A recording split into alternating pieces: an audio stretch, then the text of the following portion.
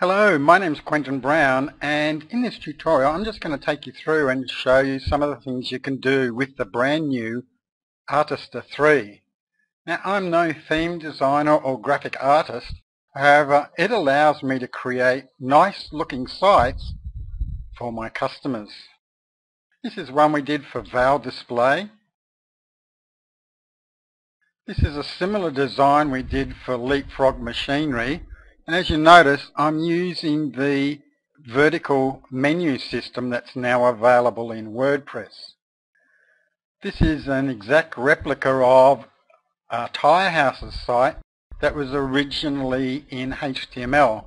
And as he built it himself, he wanted to keep the same colors, etc. So we were able to copy it using Artisteer.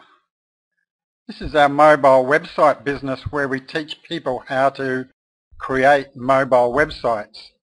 And let's just go and build this site in Artisteer from scratch because this is the old version 2 so I'm going to upgrade it to the version 3. So when you first open Artisteer this is what it's going to look like and I'm just choosing the WordPress theme. And we have this suggestion tool on the side here that basically allows you to get some ideas. Also, you can use this style here and deselect all. If you're doing a corporate business site, which is sort of what we're doing, then it will just suggest corporate styles. So let's just take this and let's clear it out.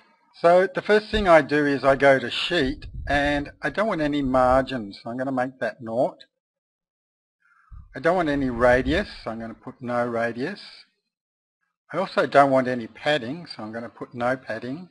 So as you can see, it's already starting to take shape. I'll just now go into the background and I want to do that a white. I don't want this information here, so I'll just make it plain. I don't want this logo here, so that's under header. So as you can see, everything's laid out here just exactly the same as it is in your WordPress site. So I'm going to change this and I'm going to use this image here. I just go to position and then I can place it anywhere I want. Make it bigger. Go OK.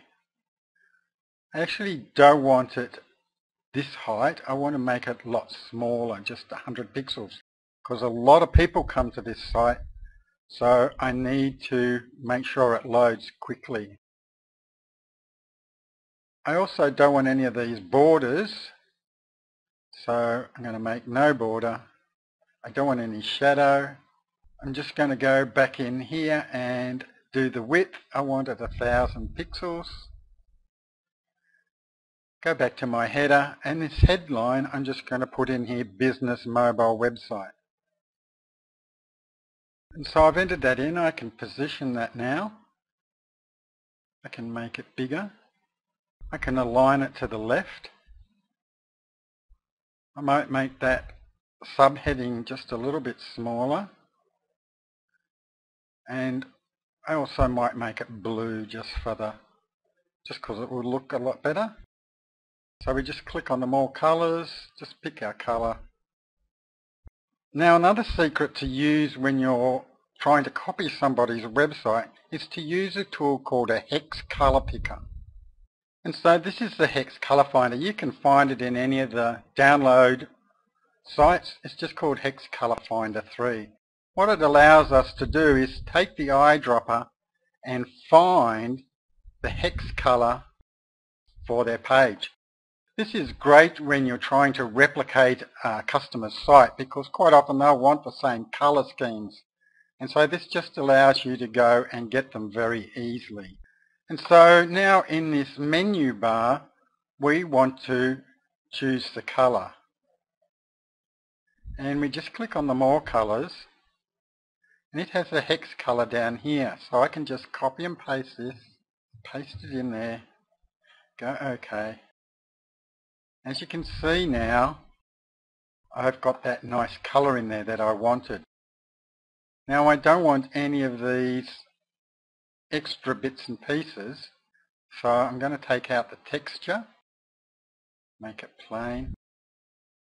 I'm also going to take out the gradient and make it plain, just so it's very easy to read.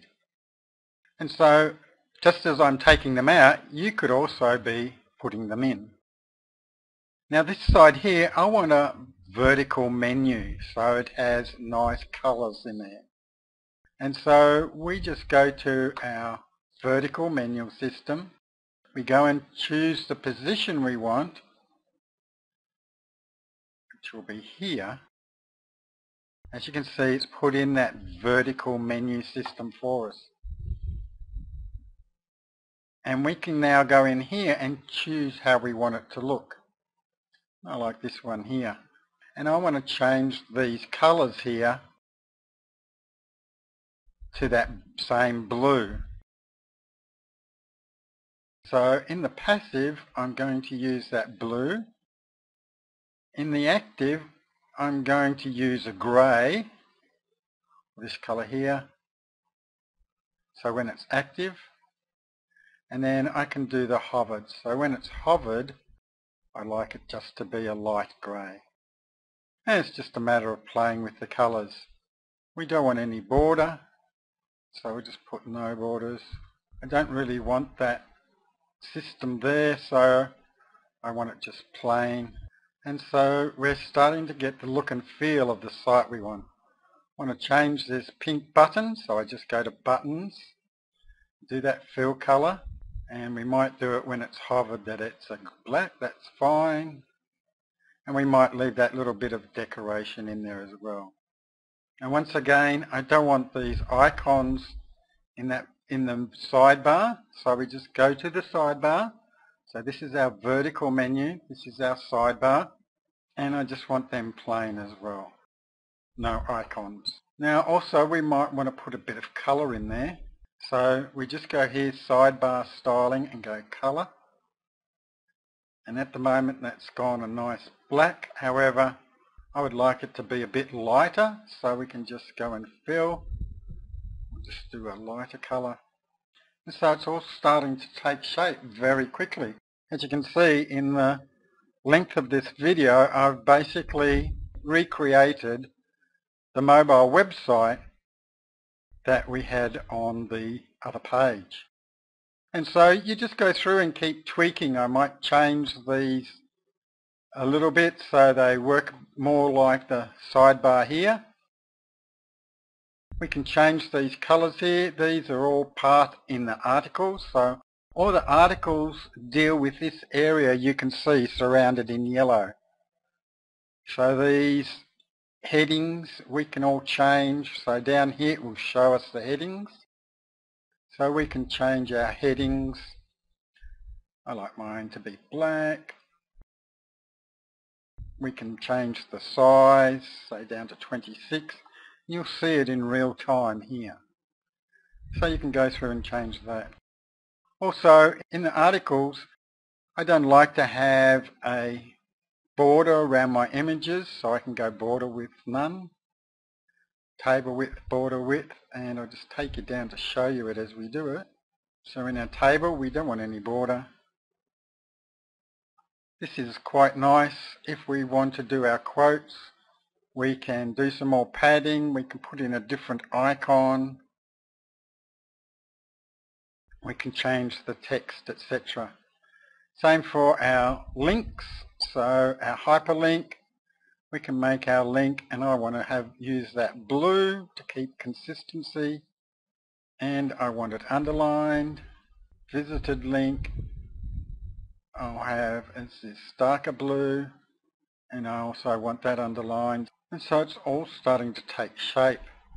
I like this black bottom here. Notice down the bottom here also in our footer it has some words so we can actually change that in our export options. So here we can put in the author's name, business mobile website. We can put a URL into our website, version of our template and template URL plus some tags and descriptions before we save it.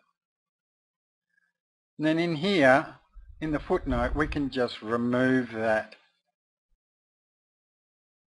and so it's taken it out of the bottom. And then in WordPress, we'll simply go into the theme properties and paste in our information there. So that's basically a quick overview of how to use Artisteer 3.